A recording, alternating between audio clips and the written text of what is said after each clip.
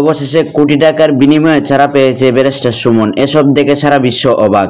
দর্শক ঠিক এভাবেই মুক্তি পেয়ে আনন্দ উল্লাস করছেন চুনাঘাট মাধবপুরের সবার সঙ্গে তুই টাকা লাগবে বলে ষাট লাখ ছয় লাখ তোমরা ভিডিও ঘুরে বেশ লাগাই বাইরি আচ্ছা যাও যাও চাকরিকে লেগেছে যাও। ব্যারিস্টার সুমন।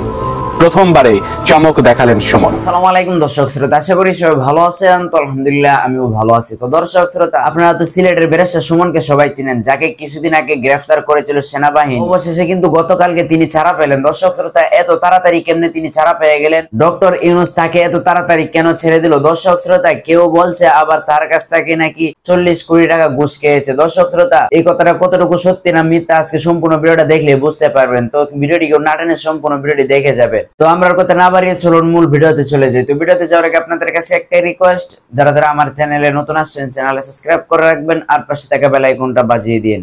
তো চলেন। তোমরা ভিডিও ঘুরে বেশ লাগাই বাইরি। আচ্ছা যাও যাও, চাকরি গেলে গেছে, যাও। উনকা টাকা আছে মাত্র চল্লিশ লাখ। বিশ লাখ কোনোভাবে মিলাই তারতাছি না। আমারে কইছে ষাট লাখ রেডি রাখো। কারণ কোন সময় খাটায় দেখা যায় কর্মী বলতে তাইন কইছেন যে কিছু কর্মী খরচা দিতেই পাই নাইলে এরা যাইবি গা ভালাইয়া আর এরা তো মনে করেন সিএনজি বিএনজির কাছে টেকা লো এরা তো মারি দিব টেকা। তা আমি চিন্তা করলাম মুখের টেকাটা ভাইতাম। আজকা দেখি ভাই সাহেব আমার ঘরের মধ্যে ঠেললে এক বেটা ঢুকছে। দুইকে একটা ব্রিফ ব্রিফ পেস না এটা কিতা হয় ট্রলি। লাগেজ লাগা দিলে বাবা এটা বড় আগ হ্যাঁ হ্যাঁ। এটা এ বেটা দুইকে আমি মনে করছি কোনো পাগল গলাইছে না তা। সুরতটা ওইরকম পাগলের মতোই লাগে। হয় আয়া পাই আমি উমান্তিক আইছি। উমান্তিকা মানে আমার ফাস্টফুড আর টিকিট দেখাইতেছে। দেখাইলে তো আমি বিশ্বাস করছি না নি কিছু। যে এইটা তো দিলে ঠিক হয়ে আছে। গিয়া দেখি জুতাটা কইলে আমার বিছনার উপরে বই গেছি। সময় আমি শিওর হয়ে গেছি যে ধরে লিছে মনে হয়। মনে হয় ই বেটা ফাগলই কিছু। ই কেন বইয়া কইতাছে? হয় আপনারা আইসি আমার বালা লাগে দেখাই এক কোটি লাগে, দুই কোটি লাগে আমি দিব আমি কইতেলে আরও শিওর হইছি। যেহেতু কয় এক দুই কোটি দিব, তাইলে পুরা ওই দরা মনে হয়। আমি আমার লোকরে কইলাম যে ই পাগল দেখো কেমনে বিদায় করতেন বা আমার খিতা করতো না করতো, আমার তোমাকে বিশ্বাস নাই খের উপরে। ইবালা এক বেটা কিতা করছে হয় আপনি আমার কিতাব আমার ব্যাগ সার্চ করে দেখুন। আমি ভাবছি যে কোনো স্বর্ণবর্ণ ইতা লইয়া আনি কোনো একটা বিপদ ফেলায় আমারে।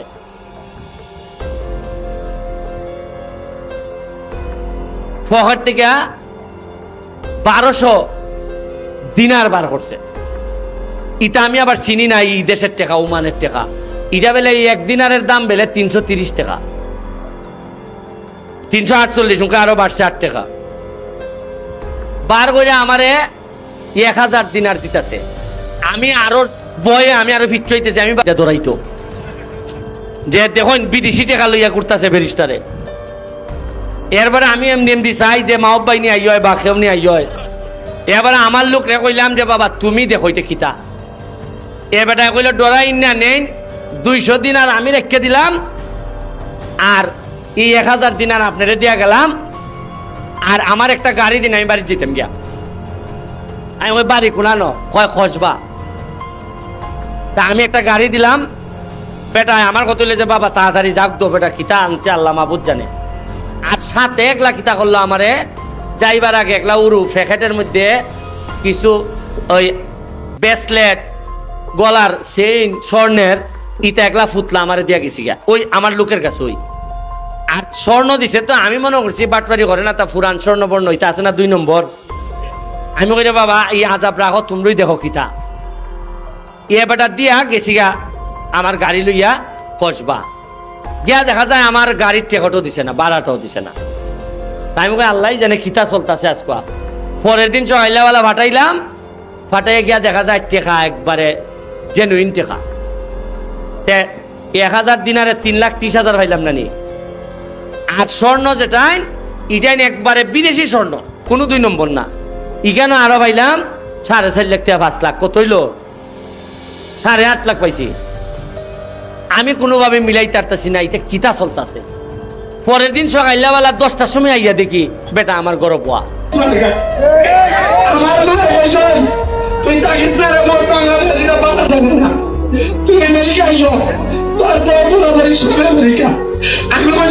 আমি সারা জীবন বাংলাদেশের মানুষের পড়াশোনা একটা ব্যক্তির পর রাখতে শোনাগা আমি যদি আমেরিকা যাই গা আমেরিকার সেবা দিব। মাইনছে আমার পূজা করে আমি তার মোবাইল না আর আজকে আজকে হয়ে আজকে আমেরিকার মানুষ সবাই বর্ধিত সবাই করে আপনি বলে জানো সুলতান? আমি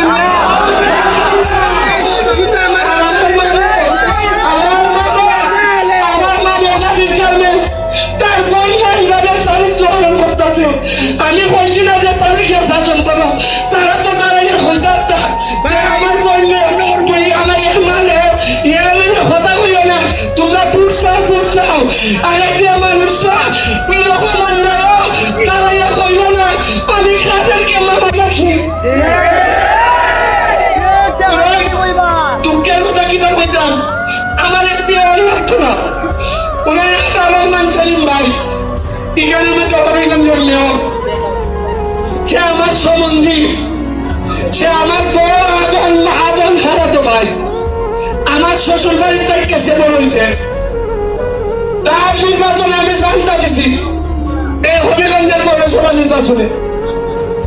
সে যখন আমি বিয়ে করি, তার মত মান্তর করলে, তার মন্তর করলে যখন আমি বিয়ে করি। সে আমার তার বোন তুলে দিছে। বিয়ে কইছে চুলের কাছে তোমার কাছে বিয়া দিলাম তুমি আমার বোনকে কষ্ট দিও না। আমি তার বোনকে কোনোদিন কষ্ট দিছি না।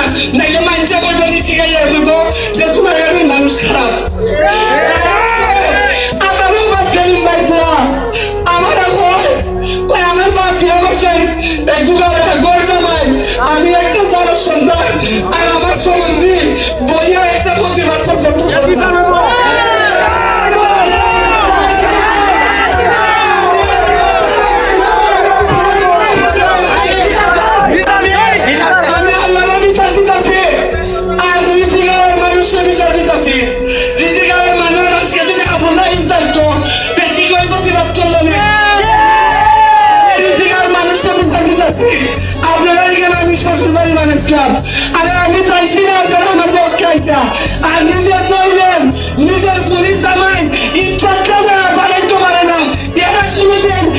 মানুষের নেতা আনতে পারে না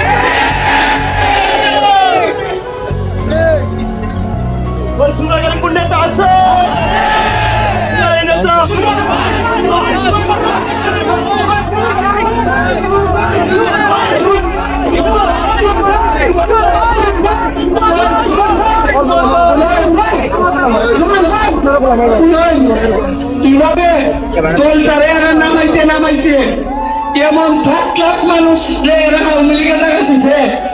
এখন তারা মানছে, এর লাগে তো হয়। সেতু বানাইছে।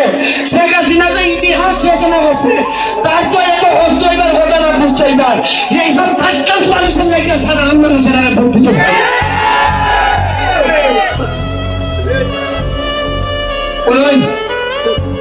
যখন আমি শুনছি, ভিডিওটা দেখছি আমার যারা শুইছে সেদিন বিশ্বাস করেন আমি আল্লাহর কাছে চাইয়া বলছি যে আল্লাহ তুমি আমার সিগন্যাল দিলাইছো। যেহেতু আমার শুইছে আমার একটা বিশ্বাস আমার কপালের মধ্যে আল্লাহ সর্বোচ্চ সর্বোচ্চ একটা লেখা রাখছেন যেটা এই প্রক্রিয়ার ফলে সর্বোচ্চ। আর বাইরের মানুষের উপরে আমি আর ভরসা করতাম না। আমার সুনাঘাট মাধবপুরের মানুষ যেভাবে সারা দিছে আরে আমি মনে রাখতাম আমি সিলেটের বন্যার সময় একটা ভিডিও করছিলাম। সারা দেশের মানুষ তিন কোটি টাকা বানাইছে তিন রাইতে। আমি একশো সাতটা পানি বানাইতেছি, সিলেট বলে সিলেট আর সুনামগঞ্জে। আমি বন্যার সময় ওয়ার্কাই ফারিন যুগটা কইছিলাম যে আমি সিলেটের সন্তান। আমার তিনশো ষাট জন আউলিয়ার উত্তরাধিকার। আমার শরীরটা শরীরের মধ্যে মাংসের সে কলিদা বেশি আমি বলছিলাম যে আমি সোনার গেটটা। আপনারা সোনার গেটটা সম্পর্কে জানেন না। সোনার গেটে নাসিম পাওয়া সারার জায়গা। যদি কারও না কারও শরীরের মধ্যে নাসিম কিনসি পাওয়া সারার রক্ত আমাদের থেকে থাকে, তাইলে মনে রাখেন এদের যেসব কথার প্রতিবাদ আমরা করব এইভাবে না। প্রতিবাদ করব সোনার গাছের ইতিহাস আমরা বাঁচাই অসংখ্য ধন্যবাদ। মানে কি বলব আমার বক্তব্য দেওয়ার মতো ভাষা নাই যে আমার আজকে এই বক্তব্য নিয়ে আসতে হবে। শুধু একটা কথাই বলব যে আমার স্বামী যা উপার্জন করছে সে সব নিজে দিয়ে দিচ্ছে। সুমন ভাইয়ের ভয় নাই। রাজপথ ছাড়ি নাই রাজপথ ছাড়ি নাই। সুমন ভাইয়ের ভয় নাই। শুধু দোয়া করবেন যে তার ভালো কর্মের জন্য অবশ্যই সে আসবে। মানে সে নিজের জন্য, নিজের জীবনের জন্য সে কিচ্ছু করে নাই। আমি তার জন্য আমি নিজে বলতে পারি, সে একটা টাকা তার নিজের জন্য খরচ করে নাই। সে যা কিছু পাইছে, সে নিজে না খেয়ে অন্যজনকে দিয়ে দিচ্ছে। কিন্তু তার বিরুদ্ধে আজকে চারটা হত্যা মামলা। সে কোনোদিন হত্যার কথা চিন্তা করতে পারে যে লোক, কোনো প্রাণী, কোনো পোষা পাখি সে হত্যা করা পছন্দ করে না। এই লোক কখনো সে হত্যা করতে পারে না। আজকে আজকে আমাকে এখানে এসে এই জন্য বক্তব্য দিতে হবে। আমি কোনোদিন কল্পনা করি নাই। কারণ আমার স্বামী এমন কোনো কাজ করে নাই তারা হাত পড়া পড়াইয়া তারা এইভাবে নিতে হবে। সে এমন কোনো কাজ করে নাই সে এইভাবে কি আদালতে যাইতে হবে। যে সিএমএম কোর্ট আমি নিজে একজন আইনজীবী। কোর্ট তার প্রতিদিনের কাজ, অন্যান্য মামলা নিয়ে আসামিদেরকে মুক্ত করেছে, সে ওই জায়গায় কাট করায় আসা। যদি সে দুর্নীতিবাজ হইতো, কোনো দুঃখ ছিল না। সেই একমাত্র লোক বাংলাদেশে যে নিজের দলের থেকে দলের সমালোচনা করে দুর্নীতির বিরুদ্ধে কথা বলছে। সাদারে সাদা বলতে কালোরে কালো বলতে সে কখনোই নিজের জীবন নিয়ে চিন্তা করে না। আমি বারবার বলছি, তুমি আমেরিকা চলে আসো। কিন্তু সে কখনোই বলে নাই যে আমি আসব, সে আপোষ করবে, সে বাংলাদেশেই থেকে যাবে। ইভেন সে যখন অ্যারেস্ট হয়, এর ফার্স্ট মিনিট আগে আমি কথা বলছি, তুমি চলে আসো সে বলছে, না, আমি আসব না, আমি দেশেই দেশেই তার সঙ্গে কিন্তু আজকে দেশের মানুষ তার এই কর্মফল দিবে, এটা কোনোদিন চিন্তা করতে পারে তাও আবার আইনজীবী সমাজে, এই যে বর্তমান ইউনুস সরকার, যারা নিজেদেরকে খুব নিডেল ক্লিনিনেস মনে করতেছে, মনে করতে একমাত্র আওয়ামী লীগ সরকারই স্বৈরাচার সরকার। এখন যারা এসব করতেছে, ওরা কি খুব ভালো কাজ করতেছে? ইতিহাসে কখনো আপনারা দেখছেন যে বিচার আদালতে কেউ কাউকে এভাবে হ্যারাস করে? পুরো আইনজীবী সমাজে কখনো দেখছেন যে কেউ কাউকে এভাবে হ্যারাস করে? একজন আসামিরও কিন্তু অধিকার আছে আইনেই বলা আছে। যে ওরা আপনারা আইনজীবী নিয়োগ করবেন। ওর বিচার পাওয়ার অধিকার আছে কিন্তু একজন আইনজীবীকে আর একজন আইনজীবী কি আঘাত করতে পারে? একদম টোটালি প্রেস বিজয়ের সামনে এটা কখনো আমরা দেখি শুধু আপনাদের কাছে একটা কথাই বলব আপনারা দোয়া করবেন এবং সব সময় পাশে থাকবেন যেন আমার স্বামী অনেক অতি সত্তর সে। জামিনে মুক্তি পেয়ে আসে এবং সত্য অনেক শুধু আমার স্বামীরা স্বামী সহ যারাই আছে যারাই এই মিথ্যা মামলায় রাজবন্দী হয়েছে সবাইকে যেন নিঃশর্তভাবে মুক্তি দেওয়া হয়। জয় বাংলা। কি মনে হয় উনি একজন আইনজীবী হওয়ার পরও আইনের আহ, মানে সহযোগিতাটা ঠিক মতো পাবেন?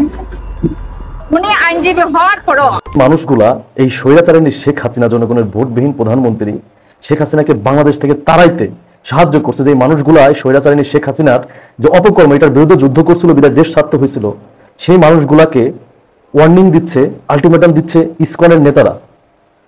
তোমরা কি চাও ভাই? বলো। তোমরা কি চাও? তোমাদের মন্দির পাহারা দিচ্ছে আলেমোলামারা তোমাদেরকে সব ধরনের সুযোগ সুবিধা দিচ্ছে। তোমরা যেন নিজেদেরকে কখনো অসহায় মনে না করো এই জন্য আমরা তোমাদেরকে, তোমাদের সাথে ভালো ব্যবহার করতেছি, তোমাদেরকে মানে কোনো অন্যায় অবিচার করতেছি না। বাংলাদেশে বিগত সময়ে যতগুলা ঘটনা ঘটছে, সংখ্যালঘুর নামে হিন্দুদের উপর, সবগুলা ঘটনার সাথে আওয়ামী লীগ জড়িত। এবং ইসকনের যারা আন্দোলন করতেছে যার দফা দিচ্ছে, এইটা করতেছে, ওইটা করতে সবকিছু আওয়ামী লীগের দাবি দেওয়া ইসকনের মাধ্যমে উঠে আসতেছে। এবং ইসকনের যে সমাবেশ, ওই সমাবেশে অধিকাংশ ছাত্রলীগ, যুবলীগের লোকজন।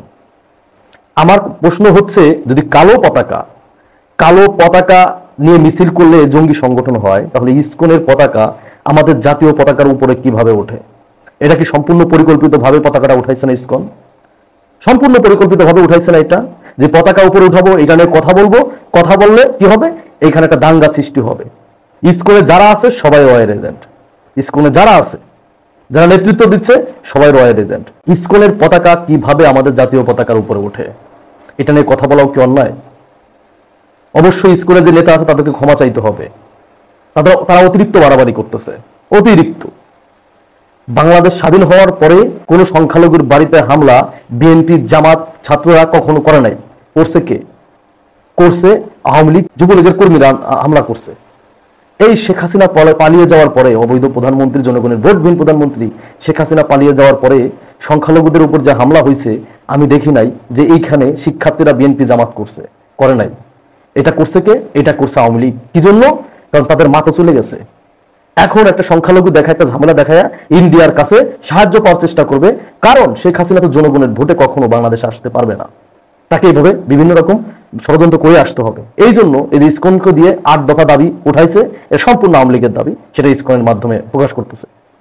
এবং ডোনাল্ড ট্রাম্প যখন বলল, ডোনাল্ড ট্রাম্প যখন বলল যে সংখ্যালঘুদের দিকে তারা দেখবে, হিন্দুদের দিকে বিশেষ করে, তখনই কেন ইসকন এখানে রাজপথে চলে আসলো? কেন সমাবেশ করতে হবে? কেন আন্দোলন করতে হবে? তোমাদের কি দিতে হবে তোমরা বলো। তোমাদের কি দিতে হবে? তোমাদের কার কত কিছু দিব? হ্যাঁ? এখন এমন একটা ভাব মনে হয়, শেখ হাসিনা শেখ হাসিনা যখন ক্ষমতায় ছিল, তখন বাংলাদেশে আলম ওলামারা মনে করতে ভাড়া আছে এই দেশে। বাংলাদেশে ভাড়া থাকে। আওয়ামী লীগ ব্যতীত যারা ছিল সবাই ভাড়া থাকার মতো বাংলাদেশে ছিল। কিন্তু তোমরা তোমরা তখন তো রাজার হালে ছিল, এখন তোমাদেরকে, এখন মনে হচ্ছে আমরা ভাড়া থাকি। তোমরা যে খেলা দেখাচ্ছ মনে হচ্ছে আমরা ভালো থাকি। তোমরা আমাদের পতাকার উপরে, তোমাদেরও পতাকা, এটা জাতীয় পতাকা। তোমাদের পতাকার উপরে তোমাদের স্কুলের পতাকা উঠাইছো ফাইজলামি পাইছো? কি শুরু করছ? কি শুরু করছ? তোমার আমেরিকা বাপ আসলে তোমাদের রক্ষা করতে পারবে না, ইন্ডিয়া বাপ রক্ষা করতে পারবে না। এ ধরনের ফাইজলামি বন্ধ করো, ঠিক আছে? এ ধরনের ফাইজলামি বন্ধ করো। তোমার আলটিমেটাম কাকে দাও? হুম? আলটিমেটাম কাকে দাও? মাহমুদুর রহমানকে। তুমি জানো মাহমুদুর রহমানকে? আজকে যারা স্কুলে আসো, শিক্ষার্থীদের পক্ষে একটা স্ট্যাটাস দিছিলা ফেসবুকে? শিক্ষার্থীদের পক্ষে রাজপথে আসছিলা আসো নাই তো? হ্যাঁ? তোমরা হচ্ছে আওয়ামী লীগের এজেন্ট আওয়ামী লীগের দালাল, রয়ের দালাল। তোমরা আসছো এখন আওয়ামী লীগের স্বার্থ হাসিল করার জন্য। আর তোমরা সেই কিনা, যে কিনা শেখ হাসিনার বিরুদ্ধে যুদ্ধ করছে মাহমুদুর রহমান, তাকে আলটিমেটাম দিচ্ছ। তোমাদের কাছে ক্ষমা চাইতে হবে। ফাইজলামি পাইছো? কাকে কি বলো? হ্যাঁ? কাকে কি বলো? যে মানুষটা এই সৈরাচারী ফ্যাসিবাদী, শেখ হাসিনার বিরুদ্ধে যুদ্ধ করছে, তার দেশ ছাড়া করছে, ছাত্রলীগের পোলাপান তাকে রক্তাক্ত করছে। তাকে তুমি ক্ষমা চাইতে বলতেছো? সে তো ভুল কিছু বলে নাই। তুমি এত বড় সাহস কোথায় পাও যে আমাদের জাতীয় পতাকার উপর তোমাদের পতাকা, ইস্কনের পতাকা উড়াও? কোথায় পাও এত বড় সাহস? গেরিলা পতাকা উড়াও? হ্যাঁ? কোথায় পাও? আর কালো পতাকা উড়াইলে দোষ হয়ে যায়, তোমাদের পতাকা তোমরা কেন উঠাইছো? ফাইজলামি বন্ধ করো। ফাইজলামি বন্ধ করে এই সব এই সব বাদ দিয়ে তোমাদের জাতীয় পতাকার উপর তোমাদের স্কুলের পতাকা উঠাইছো না এইটার জন্য জাতির কাছে ক্ষমা চাও। জাতি কিন্তু ক্ষমা করবে না। ফাজলামি সব জায়গায় চলে না কিন্তু। তোমরা এই দেশটা স্বাধীন করছি, এই স্বৈরাচারী ফ্যাসিবাদী শেখ হাসিনাকে দেশ থেকে তাড়াইছি, তোমাদের ফাজলামি দেখার জন্য না। আমরা শান্তিভাবে থাকতে চাই।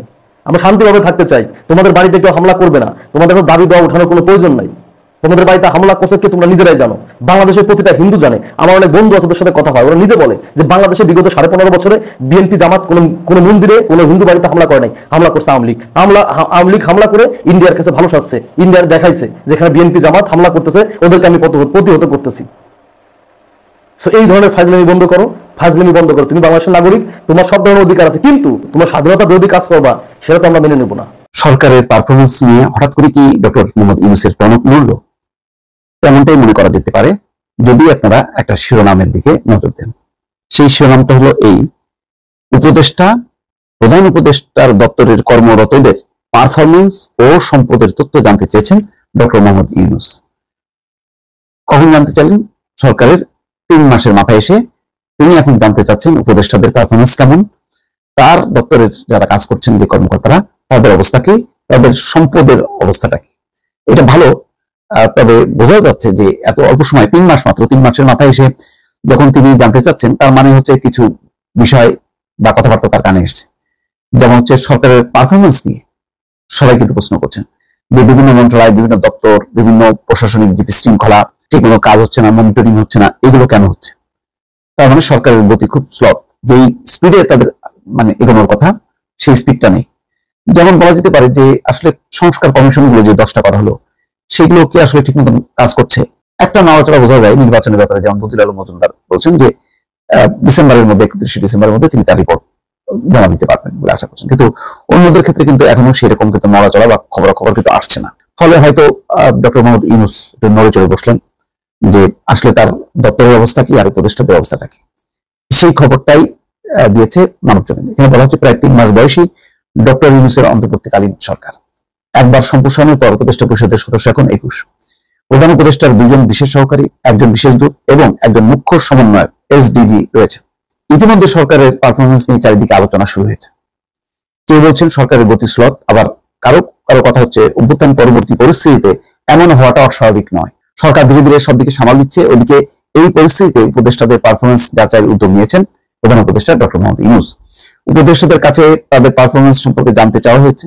তাদের সম্পদের হিসাব সম্পর্কেও তথ্য দিতে বলা হয়েছে। প্রধান উপদেষ্টা দূত, সহকারী এবং সংশ্লিষ্টরাও পড়বেন এর আওতায়। গণঅভ্যুত্থানের মুখে গত পাঁচই আগস্ট দেশ ছেড়ে পালিয়ে যান তৎকালীন প্রধানমন্ত্রী শেখ হাসিনা। এরপরই সরকার গঠনের উদ্যোগ নেওয়া হয়। শুরুতে একটি জাতীয় সরকার গঠন নিয়ে আলোচনা হলেও পরে তা এগোয়নি। আটই আগস্ট ডক্টর মোহাম্মদ ইউনুসের অন্তর্বর্তীকালীন সরকারের প্রধান উপদেষ্টা হিসেবে শপথ নেন। সরকারে এনজিও প্রতিনিধির আধিক্য নিয়ে অবশ্য কেউ কেউ প্রশ্ন তোলেন।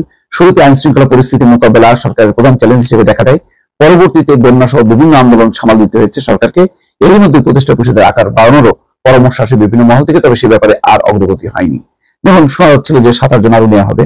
একজনের হাতে দুইটা, তিনটা মন্ত্রণালয়, গুরুত্বপূর্ণ মন্ত্রণালয়। ফলে এই মন্ত্রণালয়গুলো কাজ করছে না। এই কারণে ইতিমধ্যে প্রশাসনের যে কাঠামো, সেই কাঠামো ভেঙে পড়েছে। যার কারণে যদি প্রশাসন ঠিক থাকতো, তাহলে মন্ত্রণালয়গুলো আপন গতিতে চলতো। একজন পক্ষে দুটা তিনটা মন্ত্রণালয় সামাল দেওয়া খুব সহজেই যেত, তারা শুধু মনিটরিংটা করতেন। কিন্তু এখন তো তা হচ্ছে না। প্রতিটি মন্ত্রণালয় ভাঙচুর এবং ওই মন্ত্রণালয়ের অধীনে যে অনেকগুলো দপ্তর পরিদপ্তর আছে, সেখানে কে আওয়ামী লীগের কে, আওয়ামী লীগের না, কে বিএনপি কে বিএনপি না, এইসব নিয়ে তো পাওয়ার চলছেই। সরকারের কাছে বিভিন্ন মহলের প্রত্যাশা প্রাপ্তি নিয়ে গতকাল ঢাকায় এক অনুষ্ঠানে কথা বলেন ফাউজুল কবির খান। তিনি জ্বালানি উপদেষ্টা, তিনি বলেছেন, সবাই মনে করে যে আমাদের হাতে জাদুর চেরাগ আছে, আমরা চেরাগ ঘষে দিব, ব্যাস, সঙ্গে সঙ্গে সবকিছু হয়ে যাবে। আসলে বিষয়টা এমন না। কারণ হচ্ছে আমরা একটা কঠিন সময় দায়িত্ব নিয়েছি। যখন সরকারি কোষাগারে টাকা নাই, বৈদেশিক মুদ্রা নাই, এমন পরিস্থিতিতে আমাদের দায়িত্ব নিতে হয়েছে। আমাদের হাতে সময় বেশি নেই, রাজনীতিবিদরাও ক্ষমতায় আসার জন্য উসখুস করছেন। এমন কঠিন পরিস্থিতিতে দেশকে সামনের দিকে এগিয়ে নিতে হচ্ছে। আসলে একটা অবস্থা, প্রধান রাজনৈতিক দল, বিশেষ করে বিএনপি নির্বাচনের জন্য খুবই চাপাচাপি করছে, এটা বোঝাই যাচ্ছে। তারা কর্মসূচি নিচ্ছে এবং বলছেন যে নভেম্বর ডিসেম্বরের মধ্যে নির্বাচনের শিডিউল ঘোষণা করতে হবে। এবং সালাদিন আহমেদ তো বলেছেন যে মার্চ, এপ্রিলের মধ্যে নির্বাচন সম্ভব। এরকম পরিস্থিতিতে এত অল্প সময়ের মধ্যে সব ক্ষেত্রে পারফরমেন্স ভালো করা সম্ভব হবে, তেমনটা না। তারপরে প্রধান উপদেষ্টা একটা ঝাঁকুনি দিচ্ছে যে মানে তিন মাসের কার কি কেমন পারফরমেন্স সেটা যদি তিনি জানেন, বোঝেন এবং সেইভাবে যদি আবার পুনর্গঠন করেন তাহলে এটা আমার মনে হয় যে ভালো হবে। কারণ সবার মধ্যে একটা তাগাদা যে মানে সরকার খুব দ্রুত গতিতে তার পারফরমেন্সটা শো করুক। বদরুল এলাকার মধ্যে একজন ছাত্রলীগের কর্মী পোস্ট পদবি তার আসিল কিনা জানি না। খাদিজার সাথে তার ব্যক্তিগত ভালোবাসা, সেই জায়গা থেকে দুজনের মধ্যে মান অভিমান, তারপর বদরুল রাগের মাথায় ছাত্রলীগের পোলাপান একটু মাথা গরমই থাকে, দিয়ালাইছে একটা। গণমাধ্যমে নিউজ বদরুল লীগের হাতে খাদিজার কি অবস্থা, আর সারা বাংলাদেশ একসময় ছাত্রলীগের পার্টির মধ্যে বদরুল লীগ লাগাইছে। কেন পুরান ঘটনা নিলাম? এই সেলে ছাত্রলীগের কমিটিতে কি ভূমিকা রাখছে জরুরি না বাট সে ছাত্রলীগ করতো এই কারণে বদরুল লীগের একটা ক্রেডিট চলে আসছে। তো দেখো ছাত্রলীগ নেতা কি করছে। আজকের দিনে আমাদের সমন্বয়কদের মধ্যে যে আটজন ডাকাতি করতে গিয়ে ধরা খাইছে, এই আটজনের কারণে এই যে জুলাই আগস্টে শত শত মায়ের কোল খালি হলো, হাজার হাজার মানুষ মারা গেল, আহত হলো, পঙ্গু হলো, এখনও একদল লড়াই করছে রাজপথে মাঠে, আর আরেক দল ডাকাতি করতেছে। এখন যতই এটারে পলিশ করা হোক, গুইরা কিন্তু বদরুল লীগের মতন ক্রেডিট কিন্তু একটা সময় নিয়ে নিতে হবে। খুবই কনসার্ন থাকতে হবে যারা এই আন্দোলনে রাজপথে নেমেছিলেন, আপনাদেরকে মানুষ চিনে। আমরা হয়তো ছিলেন এলাকার মানুষ চিনে, কারণ এলাকার সমন্বয় পরিচয় দেন। দুর্ভাগ্যজনক হলেও একটা সিন্ডিকেটের কবলে পড়ে গেছে। সিন্ডিকেটের উপর এটার মানে মেইন দায়ভারটা আসছে। ঘটনা হচ্ছে দৈনিক ইত্তেফাক। ঘটনাস্থল ধানমন্ডি, শিক্ষার্থীদেরকে দিয়ে ডাকাতির চেষ্টা করেছিল পেশাদার চক্র তারাও খুব সাজাইয়া গোছায় আবার টাইটেল লিখছে। আর্থিক লোভে শিক্ষার্থীদের কেউ ডাকাতিতে জড়াচ্ছে, শিক্ষার্থীদের আন্দোলনের সুযোগ নিচ্ছে চক্রটি। ছবি তাদের দেখছেন। আমরা যদি একটু আপনাদেরকে তথ্য সহ দেই যে ঢাকার নামি দামি স্কুল কলেজের শিক্ষার্থীদের ব্যবহার করে ডাকাতি করতে গিয়ে ধরা পড়েছে তেরো ডাকাত। এদের মধ্যে আটজনের শিক্ষার্থী, এরা সম্প্রতি বৈষম্য বিরোধী আন্দোলনে রাজপথে আন্দোলন করেছে। বাকি তিনজন ডাকাতির পরিকল্পনাকারী এবং শিক্ষার্থীদেরকে ব্যবহারকারী সিন্ডিকেটের সদস্য। তো সমাজবিজ্ঞানীরা বলছেন, সম্প্রতি বৈষম্য বিরোধী আপনার আচ্ছা সমাজবিজ্ঞানের কথায় পরে যাই, আগে ঘটনাটা বলি। গত বুধবার রাত সোয়া দশটার দিকে ধানমন্ডির তেরো এর এ, এই নম্বর রোডের তেরো নম্বর বাসায় অর্থ, স্বর্ণালঙ্কার এবং মূল্যবান জিনিসপত্র লুটপাটের জন্য কয়েকজন প্রবেশ করেছিল। তারা বাসায় প্রবেশ করে ওই বাসার সিকিউরিটি গার্ডদের মারধর করে ফোন ছিনিয়ে নেওয়ার চেষ্টা করে। এ সময় পথচারীদের সহায়তায় কয়েকজনকে অবরুদ্ধ করে রাখা হয়। পরে পুলিশ এসে তাদের আটক করে। তাদের দেওয়া তথ্য থেকে মোট তেরো জনকে গ্রেপ্তার করা হয়। এই সময় তাদের কাছে পাঁচটি লোহার রড এবং পাঁচটি বাঁশের লাঠি জব্দ করা হয়। তো এদের নাম হচ্ছে হাসিবুল গোলাম মোর্শেদ আরও অনেকে আছে যাক বাকিদের নাম নিলাম না আমি, বাচ্চা মানুষ, ঘটনা ঘটাই দিছে হয়তোবা। তো এদের পরিচয় কি? কেউ হচ্ছে আপনার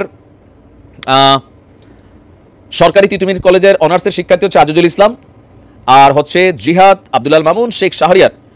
গ্রিন রোডে অবস্থিত হামদর্দ পাবলিক স্কুল অ্যান্ড কলেজের শিক্ষার্থী মুস্তাফিজুর রহমান, বেসরকারি সোনারগাঁও ইউনিভার্সিটির শিক্ষার্থী আবু সালে হিরন টঙ্গী সরকারি কলেজের ইয়াসির আরাফাত, মিরপুর বঙ্গবন্ধু কলেজের শিক্ষার্থী। এছাড়া Ibrahim, Dhaka public and school কলেজের উচ্চ মাধ্যমিক বর্ষের প্রথম বর্ষের শিক্ষার্থী, বাকি দুইজন হচ্ছে আপনার দুজনই শিক্ষার্থী। তাদের পরিচয় নাম পুলিশ এখনও বলে নাই। আমাদের ধানমন্ডি থানার এসআই সাবির ভাই, তিনি বলছেন যে গ্রেপ্তারকৃতদের মধ্যে ডাকাতির পরিকল্পনাকারীরা পুলিশকে জানিয়েছে যে, তারা সম্প্রতি শিক্ষার্থীদের আন্দোলনকে কাজে লাগিয়ে এই ধরনের অপরাধ করছে। শিক্ষার্থীদের ব্যবহার করে চুরি বা ডাকাতির কাজটি খুবই সহজ হয়। এক্ষেত্রে ধারালো অস্ত্র বা আগ্নেয়াস্ত্রের প্রয়োজন হয় না। লুণ্ঠিত মালামালের একটি অংশ শিক্ষার্থীদের দিয়ে দেওয়া হয়। আট শিক্ষার্থীর ব্যাপারে পুলিশ খবর নিচ্ছে, কীভাবে তারা এই সিন্ডিকেটের মধ্যে জড়িয়ে পড়ল? এটা খুবই গুরুত্বপূর্ণ। একটা আন্দোলন, একটা ফসল, অনেক কষ্ট করে তোলা হয়, কিন্তু থাকে না যে এক মন দুধে এক পোড়া চেনা পড়লে কি হয়? দুধটা নষ্ট হয়ে যায়, অনেকটা এরকম হয়ে গেছে। ওই যে ছাত্রলীগের মধ্যে এরকম অসংখ্য বদরুল্লাহ ছিল, তাই না? তো এরকম শিক্ষার্থীদের মধ্যে একটা গ্রুপ কাজ করতেছে। রাষ্ট্র সংস্কারের জন্য জীবন দিচ্ছে। আরেকটা গ্রুপ এই ধরনের ফায়দাতে টেকনিক্যালি জড়াই পড়তেছে। পরিকল্পনাকারী যারা আছে, তাদেরকে দৃষ্টান্তমূলক শাস্তি দেওয়া হোক, কোমলমতি শিক্ষার্থীদেরকে দিয়ে কেন আসলে এমন ধরনের অপরাধে জড়ানো হচ্ছে? অনেকেই হয়তো টাকা পয়সার অভাবে, অনেকে নেশার কারণে, অনেকে অনেক কিছু কারণে কিন্তু এগুলোতে জড়াই যাচ্ছে। বাংলাদেশে এই ঘটনাগুলো এখন অ্যাভেলেবেল হচ্ছে। এটি কনসার্ন করা দরকার। যারা এগুলো দেখার দেখবেন। আর শিক্ষার্থীদের উদ্দেশ্য বলি, তোমরা যারা বৈষম্য বিরোধী আন্দোলনে ছিলে, খুবই হিসাব নিকাশ করে চলতে হবে সব কিছুতে কারণ মানুষ বা হেটার্সরা যারা আছে, তারা কিন্তু এগুলো নিয়ে প্রশ্ন তুলবে। একটা দোকান থেকে বাকি খাইছো, টাকা দাও না এটুকু ভাই দেখো, সমন্বয়ক পরিচিত বাকি খাচ্ছে। হয়তো তুমি আগেও খাইতা, কিন্তু এখন এটা পরিচয় আসবে কি? সমন্বয়ক। তুমি একজনের কারণে বাকিদের বদনাম হবে, সো যাই করো, একটু কনসার্ন রাখতে হবে যে আমরা একটা বড় ধরনের হিস্সা তো দর্শক, শ্রোতা, আপনারা তো ভিডিও দেখতে দেখতে ভিডিও শেষ পর্যন্ত চলে আসছেন। যদি ভিডিওটা ভালো লাগে, তাহলে লাইক, কমেন্ট শেয়ার করতে কিন্তু ভুলবেন না। তো এরকম আরও নতুন নতুন ভিডিও পাওয়ার জন্য আমার চ্যানেল সাবস্ক্রাইব করে রাখেন। তো আপনাদের সাথে আবারও দেখা হচ্ছে পরবর্তী এক ভিডিওতে।